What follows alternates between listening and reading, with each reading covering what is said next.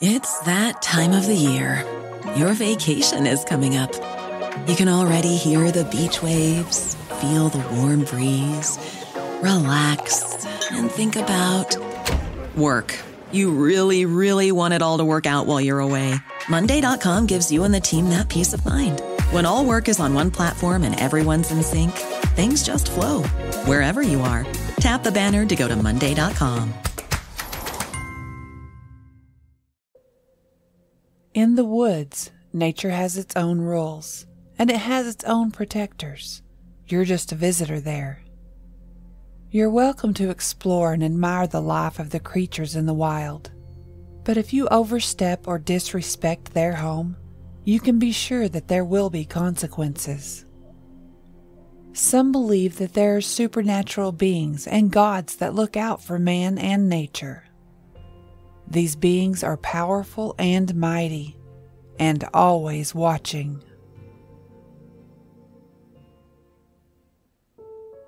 Welcome to Freaky Folklore, the podcast where we discover the horrifying legends across the world and tell terrifying tales of monsters, both ancient and modern. Today we are discussing the Thunderbird, a creature of legendary power and strength. This show is part of the EerieCast Podcast Network. Find more terrifying tales at EerieCast.com and be sure to follow us on Spotify or your favorite podcasting service. You can leave an honest review on iTunes too. The more we get, the more we grow, and hopefully, the more monsters we can explore. If you'd like to submit an encounter or suggestions for future episodes, you can email them to carmancarrion at gmail.com. That is C A R M A N C A R R I O N at gmail.com. You can also follow me on Twitter or Instagram for information on future episodes. The patchwork of clouds was casting long shadows over the lake and weaving in and out of the mountains that surrounded it. Aaron could see their pillowy white reflections in the water from where he was standing on the trail, making a mirror image of the sky. Aaron's grandpa had once told him that the land around the Sawtooth Mountains had once been inhabited by the Shawnee people, way back before Anglo settlers came in and pushed them out. It seemed like a magical place still today, and he could imagine that it was that way when they were there. It was a sacred place, and he could sense that. He stood there on the trail looking down at the deep blue waters of Lake Superior and imagined that the villagers were still there. He could see children running and playing along the water's edge, while their mothers were making baskets and cooking or fishing, and their fathers were preparing for a hunt. He was so immersed in the image that he could even see a giant shadow move across the lake. At first, he thought it was a cloud, but it was moving too fast. As he looked closer, he could see that it had wings, but there couldn't be any planes in his fantasy. They weren't even invented yet. Aaron jumped and snapped out of his daydream when someone smacked him on the back of the head. Hey, are we going to make this hike today or what? Bobby, his friend, chided as he stopped and stood beside him. Sorry, Aaron said with a smirk. This view always gets to me. It takes me back to a time when the world was more peaceful and simpler. Aaron had been telling Bobby about this area for years now. He told him stories from his and his grandpa's many fly fishing trips, and about canoeing the Salmon River with his friends when he was in school. Sharing his memories of this beautiful place with Bobby had caused him to become intrigued. Bobby had grown up in the outskirts of Los Angeles in the suburbs. He had never experienced anything like this. His wilderness had been a concrete jungle. Bobby had become his friend when they began working together at the law firm in Newport Beach as interns. They had bonded through their struggles as fledgling lawyers over the last several years. After passing the bar exam and getting some hefty experience, Aaron had been offered a job at a law firm in his hometown of Duluth, Minnesota. He had always intended to return home someday. So, this is a country boy's idea of a good time. Bobby teased as they were on their way down the trail towards the lake. Well, it beats racquetball and tennis in my book, Aaron replied. When they reached the shoreline at the edge of the lake, they dropped their backpacks and tested the waters. It still seemed rather cool for late spring, but they hadn't come here to swim. The plan was to rest before heading to the highest point, Eagle Mountain. The terrain was rather rocky in this area, so they found a spot just at the edge of the forest beneath some old pine trees to set up camp. Do you want to pitch the tents or fix something to eat? Aaron asked Bobby. Bobby thought for a minute before answering. Well, considering I've never pitched a tent, maybe I should cook. Okay, well, I'll help you get the fire started. Aaron knew that Bobby had never cooked over a campfire either, so his choice may still have an interesting outcome to say the least. An hour later, Aaron was surprised when he sat down next to the fire to eat the meal Bobby had prepared. He had cut up a bell pepper and onion and wrapped it in aluminum foil with some chopped smoked sausage. Wow, you never cease to amaze me. Aaron laughed, truly impressed by his friend's accomplishment. I did my research. Besides, there's nothing a man can't do with a few YouTube videos. They were finishing up their meal as the sun began to set, and a large shadow swept across the shore. It was accompanied by the flapping of wings and a loud screech. Aaron looked up at the sky, expecting to see an eagle or some other large bird. But this bird was so large and so close, he couldn't see what it was. Holy crap! Bobby exclaimed. Are all the birds here big enough to carry off a Fiat? Nah, I think it just looked big because it was so close. It was probably a bald eagle. They nest along the shoreline. We may get to see one or two more tomorrow. Aaron explained, but he was a little shocked himself. That bird had looked unusually large. It made him think of the old Shawnee legend he had once read about the Thunderbird a giant bird that was large enough to carry off a whale, according to legend. His grandpa had told him when he was just a kid that thunderbirds could literally make thunder sounds with their wings and shoot lightning from their eyes. He suddenly realized that this would make a great scary story to tell Bobby right before bedding down for the night. So he told him the story of the Thunderbird and how one had once attacked a small boy in his backyard and carried him over 30 feet. Thanks, man. Nightmare fuel is just what I needed. Bobby grumbled as he crawled into his tent. The next morning, they woke and packed up their things, made sure the fire was out and the area was clean before hitting the trail.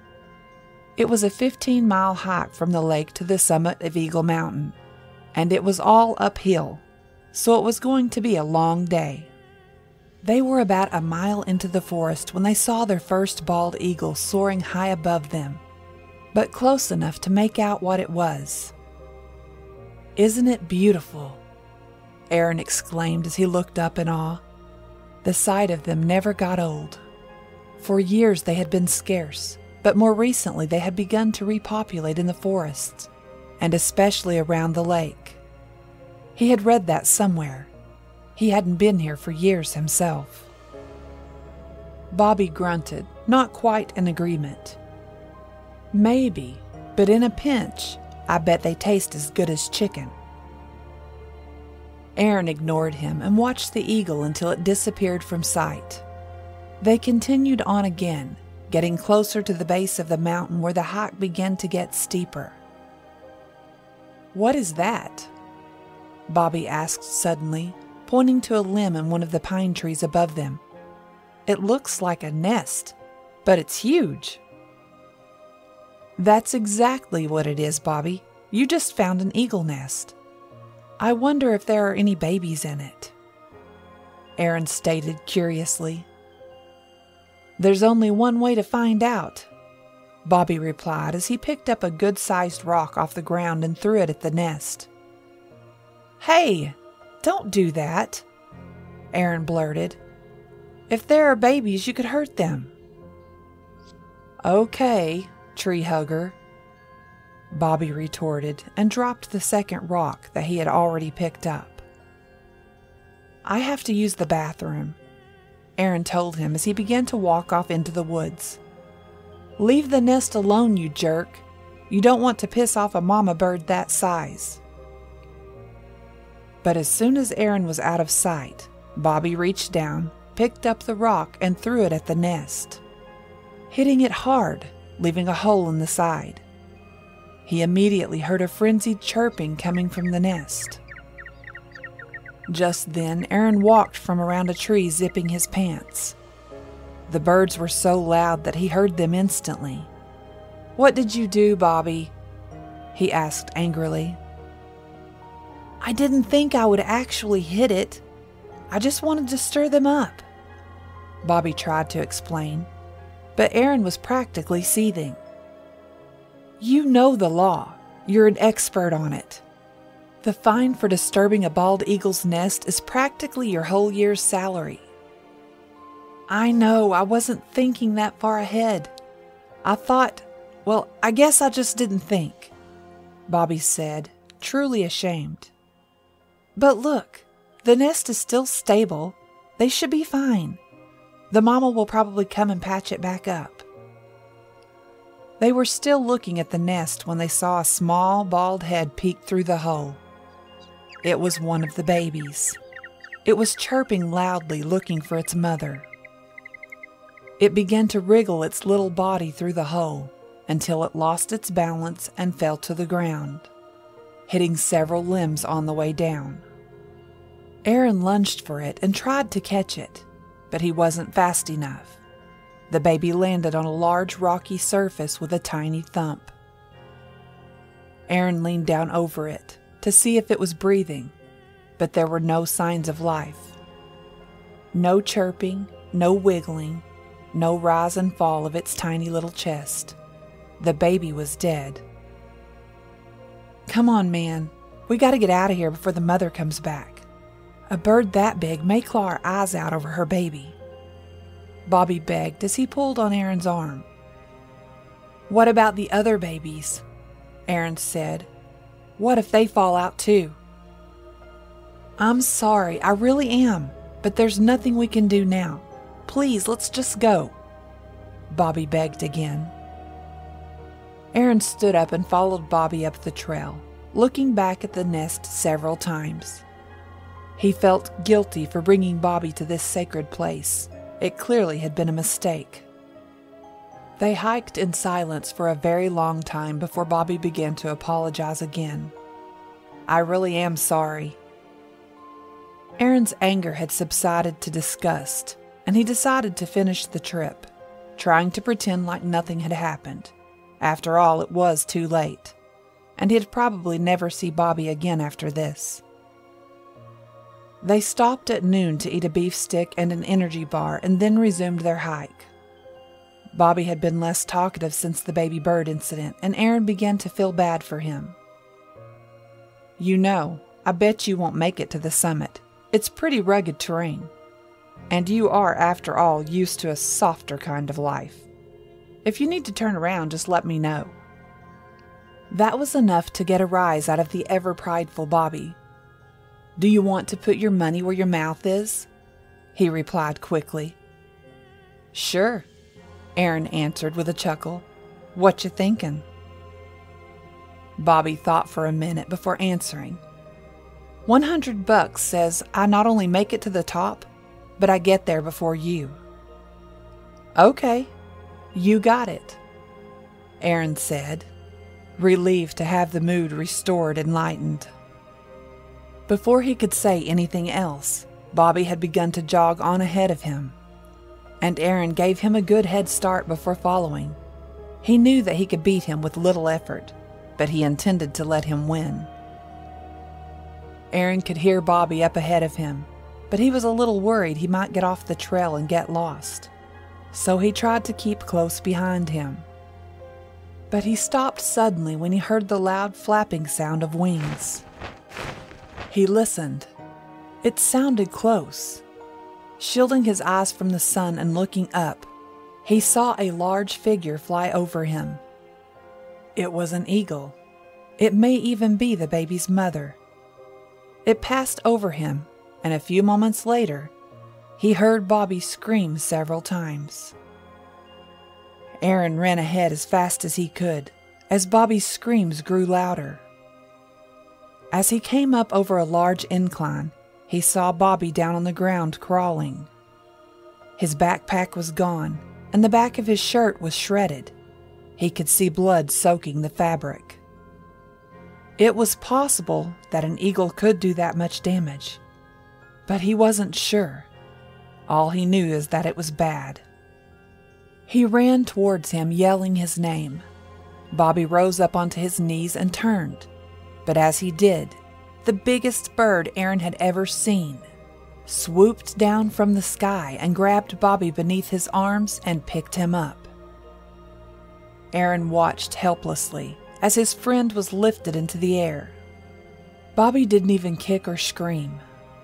He just dangled there, staring at Aaron as a bird the size of a Cadillac took him up into the sky and headed off towards the top of the mountain. Shocked and confused, Aaron stood there with his mouth open, not knowing what to do. This episode is sponsored by June's Journey. Attention, all mystery lovers. Dive into the captivating world of June's Journey, the hidden object game that will awaken your inner detective. Join June Parker on her quest to uncover the shocking truth behind her sister's murder in the glamorous 1920s. I'm a couple of chapters in, and I love unlocking new pieces to the mystery after each hidden item search. The beautifully detailed scenes, from New York's finest parlors to the charming sidewalks of Paris, make the experience truly immersive. As you progress, you'll also get to build and customize your very own island estate, complete with stunning gardens and luxurious buildings. Gather compelling evidence, decipher cleverly hidden clues, and unravel the dark secrets of the Parker family. Each twist and turn will keep you on the edge of your seat, eager to crack the case. Cooperate or compete against other players in the Detective Club, and you'll even get a chance to play in a Detective League to test your skills. Are you ready to jump back in time, detectives? Download June's Journey for free today in iOS and Android. The legend of the Thunderbird goes way back in indigenous American cultures. Across the country, even in the Appalachian Mountains, they are still seen today from time to time. There are over 574 recognized tribes across the United States and Canada, and they've all seen markings on rocks and caves that symbolize the Thunderbird. Described as a supernatural being, the enormous bird symbolized power and strength that protected humans from evil spirits. It was called the Thunderbird because the flapping of its powerful wings sounded like thunder, and lightning would shoot out of its eyes. The Thunderbirds brought rain and storms, which could be good or bad. Good when the rain was needed, or bad when the rain came with strong destructive winds, floods, and fires caused by lightning. The bird was so large that several legends say it picked up a whale in its talons. Indigenous Americans along the northwest coast of the United States tell many versions of a story about a thunderbird and a whale. Here is one version of the story adapted from the Hoh tribe. The thunderbird lives in the sky. He makes thunderous sounds by flapping his wings. He makes lightning by rapidly flying through the air. The thunderbird eats whale meat for food. One giant whale was killing other whales and depriving the tribe of food and oil. The thunderbird saw this and went after the whale. He plunged into the ocean to capture the whale, and a battle ensued. The whale fought very hard, and the ocean receded and rose again. Many people were killed. Thunderbird and whale fought so hard, the trees were pulled from their roots. No trees grow in that place to this day. Several versions of this story tell of multiple battles between Thunderbird and Whale, each time the water floods the land and later recedes. Each time trees are uprooted. In many stories, people or well pieces are turned into stone to form mountains. The thunderbird in these myths is usually associated with storms and thunderous sounds. It's typically the most powerful spirit and found at the top of totem poles. The stories of the thunderbird and whale typically describe a shaking earth and tsunamis, with water inundating the land and uprooting trees. One of the most prominent sources for the thunderbird comes from the peoples of the Northeast Americas including eastern Canada and the United States. These people are often known as the Algonquian people. In Algonquian mythology, the Thunderbird is ascribed the role of a god, controlling the upper world while the underworld is controlled by the underwater panther or great horned serpent. The Thunderbird uses its thunder and lightning to fight the underworld creatures. In this version of the legend, the Thunderbird is depicted as a huge bird with wings held wide and horizontal, with a head in profile position. However, it can also be presented as an X shape with the head facing forward.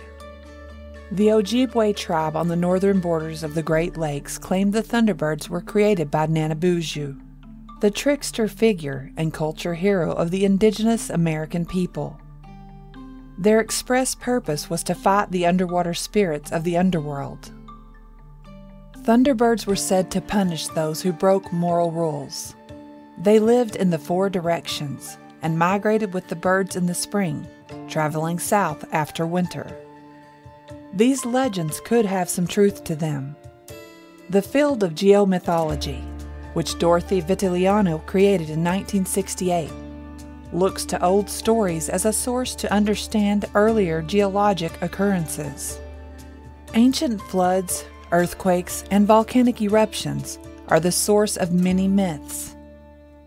The Cascadia earthquake of 1700 is said to be connected to the Thunderbird and Whale myths, as well as earthquakes and tsunamis that have occurred along the Cascadia subduction zone off the coast of the northwest U.S. Even if the stories that are passed down orally over time change with time, a study of patterns in a number of stories from a certain area can provide details about important geologic events that happened in the past. As a figure in the sky moves with astonishing speed toward them, the clouds turn dark. This massive winged creature's colorful feathers stand out sharply against the sky. Although it appears to be coasting on the winds above, Thunder can be heard with each flap of its wings. The people below are in awe of this powerful enforcer and guardian. Look at the powerful Thunderbird. Although the Thunderbird is frequently depicted as a guardian in the many Thunderbird tales, there are occasions when this monster is compelled to chastise those with weak morals. The existence of the Thunderbird legends is a topic of great curiosity.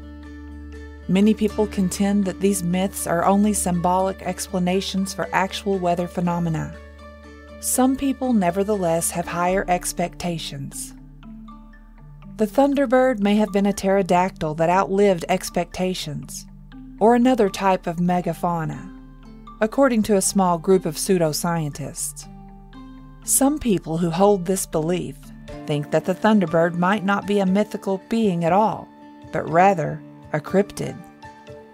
Over the last hundred years or so, there have still been sightings along the I 80 frontier, Pine Creek Valley, dark skies, and elk country landscapes of the Pennsylvania wilds. When Elvira Coates was a young girl, the indigenous Americans who resided in Potter County told her stories about the Thunderbirds. Coates created the earliest written sightings of these creatures. Fred Murray of Westfield reported seeing a flock of thunderbirds near Dent's Run in 1892. This flock of thunderbirds were described as looking like large vultures with wingspans of 16 feet. Lewis Sheldon, a different witness, was a pioneer in Potter County. He reported seeing groups of five to six thunderbirds at once. And in the middle of the 20th century, a thunderbird that resembled a plane in size was spotted close to Jersey Shore in Lycoming County. Thunderbirds have been seen in Clinton County in more recent years. Two witnesses reported seeing a bird with a very long beak in the summer of 2010, close to the Coudersport Pike, north of Lock Haven. There were no more sightings found after the investigation. A thunderbird was spotted by two girls in June of 2012 when they were camping in Chapman Township. The smaller of the two girls ran into the cabin crying as the bird, which had an estimated 14 foot wingspan and no feathers on its head, soared low above the camp. Douglas Cranmer, a significant figure in the Northwest Coast art movement, both in its traditional form and in a modern contemporary form, was something of a connoisseur of the bizarre. He frequently talked about ghosts, UFOs, and monsters. In 1922, he claimed to have seen his first Thunderbird, followed by four more.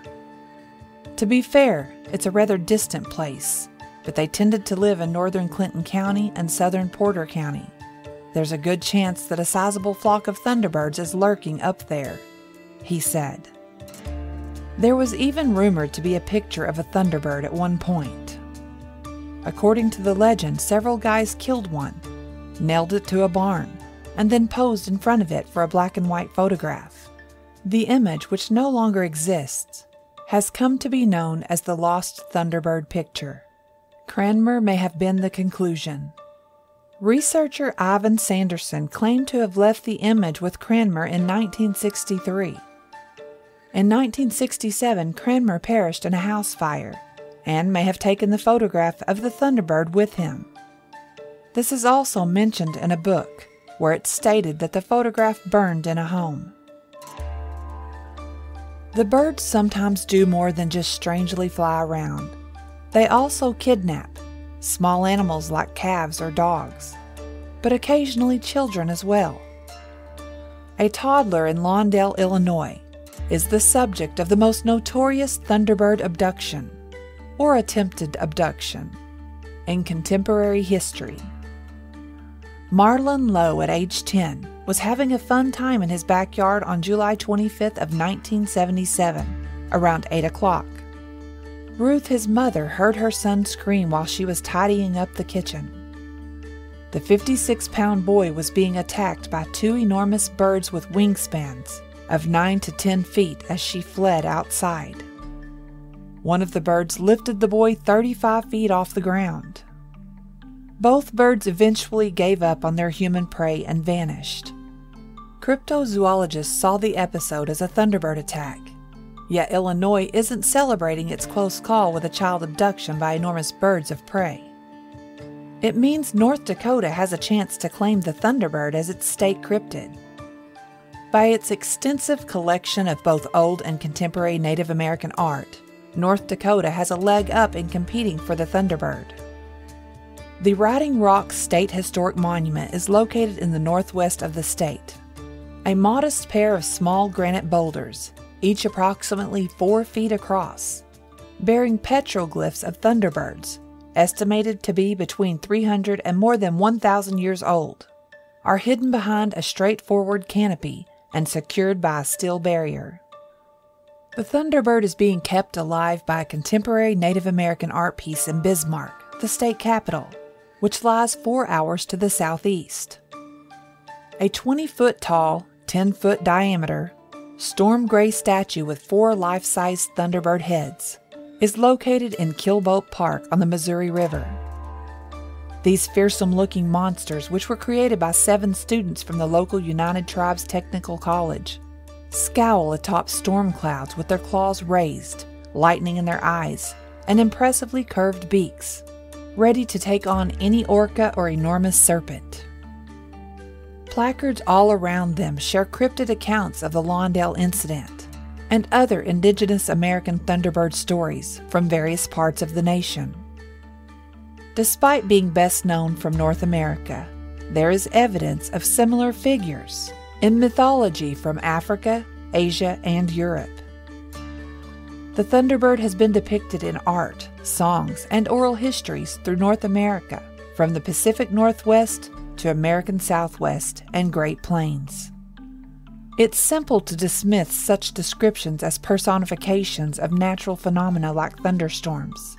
The Thunderbird must be large to produce thunderstorm like sounds and sights, and it obviously has to be in the air. These tales, however, originate from vast, desolate wilderness areas, places that may still today support a sizable species, undetected.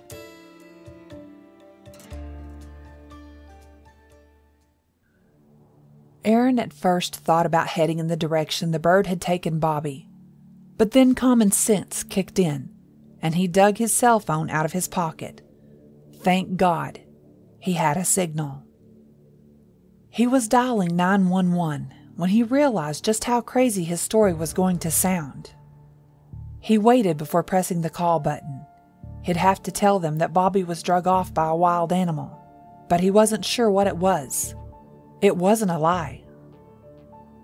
The operator answered and took his information and location. He told Aaron to remain where he was, and they would follow his phone signal to locate him. But Aaron wasn't about to stand there and do nothing. They could follow his phone signal up the mountain. He was going to look for Bobby. He began walking again, but it soon turned into more of a climb as he began to scale the rugged mountainside. He had been climbing for about 30 minutes when his phone began to ring. He had to stop to answer it because it was probably someone from emergency assistance. He slid the answer symbol across his phone and put it to his ear. Hello? He said. But there was no reply. He said hello two more times before looking at the phone. The screen said, Signal dropped. He tried to return the call, but there was still no signal. He was beginning to lose his footing and slip when he tried to shove the phone back into his pocket. He reached for a rock to steady himself, but when he did, he dropped the phone, and it bounced down the steep path he had just came up from. He didn't have time to go back for the phone, so he turned and continued to climb. Surely they could still find him without his phone. He hoped so anyway. The climb was much harder than Aaron remembered, or he had just gotten that much out of shape. He had to stop halfway to the top and rest. The muscles in his legs and back were on fire, and his hands and knees were covered in scrapes. He was sitting there catching his breath when he heard a loud clap of thunder, followed by another, and then another. He looked up. There wasn't a cloud in the sky, but he was sure he had heard it. Once he caught his breath, he continued on, even though he was beginning to be afraid that he wouldn't make it. He struggled with every step and began to slip more and more often. He began losing track of time, but at some point, he heard a helicopter, and he leaned back on a rock to search where the sound may be coming from. It was there in the distance. He saw it, and it was coming his way. When it got close enough, he waved his arms trying to get their attention. They finally saw him and flew in as close as they could. Dirt and rock were flying all around him, biting into his skin and filling his eyes and nose. It was no use, though. They had no safe place to land. Aaron sunk back onto the rock as they motioned something to him before they turned and flew away. He would have to continue on his own. They would be sending people up the mountain, he knew for sure. But they would be far behind him, and Bobby may not have that much time. He found himself filled with a renewed strength, knowing for sure now that help was on its way and he pressed on, moving faster than he had before. When he reached the summit, the sun had begun to lower into the sky. The summit was easier to hike and was wooded. He followed the trail until he found the marker at the top. Here he was mostly surrounded by trees, and he began to yell Bobby's name in every direction. The only answer was the rolling sound of thunder again. And again he looked around, but the sky was still clear, not a single cloud in sight. He circled the top of the summit yelling for Bobby, but there was no sign of him until he passed around the side opposite of the trail for the second time when he thought he heard moaning. He looked over the ledge where he thought the sound was coming from. It was steep, but he heard it again, clearer this time. It was Bobby, he was sure of it. The sun was setting as he assessed the climb and then began heading down. He'd have to climb down backwards and hope to find his footing as he went. He slowly lowered himself down, finding a rock here and an indention in the ground there, until he made it to a ledge that had several trees growing on it. It was a small area, maybe 20 feet in length and 3 feet wide, but it was solid and flat. He heard the moaning sound again and followed it. The sound was coming from behind the cluster of trees that were growing flush against the rocky side of the cliff. He began working his way behind the trees as they scratched at his bare hands, legs, and face. He didn't have to go far before he found a huge opening in the mountainside. It was a cave. He had no idea that this cave was here. He didn't think anyone did. He reached for his pocket to grab his phone and remembered that it was gone. Then he remembered the flashlight in his backpack that he had nearly forgotten was on his back. He could hear the sound of thunder, and this time he caught a flash of lightning in the distance, followed by a loud screech. Stepping into the dark opening, he tossed his backpack over his shoulder and onto the ground. The flashlight was right on top. He immediately turned it on. The bright beam of the new flashlight lit up the entire cave. It wasn't a deep cave. He could see the back wall. Then he aimed the light towards the ground. His breath caught in his throat for a moment as he tried to make sense of what he was seeing. The floor wasn't a floor at all. It looked like a giant nest, but it was bigger than any nest he had ever seen or heard of. It was big enough for more than six full grown eagles. He heard moaning again and swung his flashlight around until it landed on the source of the sound.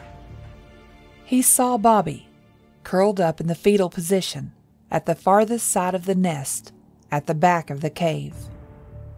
He was covered in wounds. He could see rips and tears in his shirt and shorts. There were even small chunks of flesh missing from the openings in his clothing and all up and down his legs. Aaron tried to make his way over to him, but he wasn't watching where he was going, and he tripped over something and landed on his face. He was trying to get up when he heard strange sounds coming from all around him. It was squawking, high pitched and demanding. The sounds filled the air all around him and echoed off the cave walls.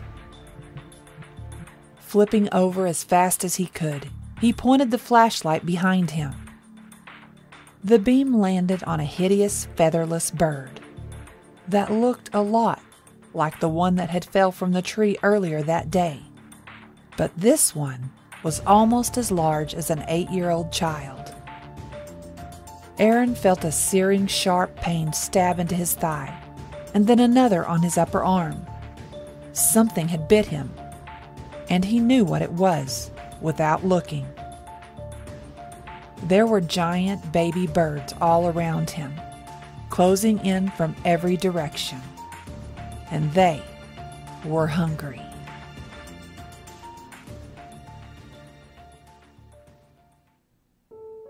Thank you for listening to Freaky Folklore, the podcast about mankind's horrifying legends and myths. Don't forget to follow Freaky Folklore on Spotify and iTunes. If you can, Leave the show an honest review on iTunes to help us grow. Freaky Folklore is part of the EerieCast Podcast Network. the home for listeners who love to feel scared.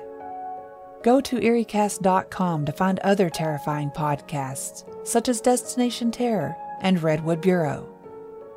If you'd like to submit an encounter or suggestions for future episodes, you can email them to carmancarrion at gmail.com. That is C A R M A N C A R R I O N at gmail.com. You can also follow me on Twitter or Instagram for information on future episodes. Tune in next week as we discuss the Mokele Mbembe, a water dwelling reptilian creature that is said to live in the Congo River Basin. Until next time, stay safe out there because this world is a strange one.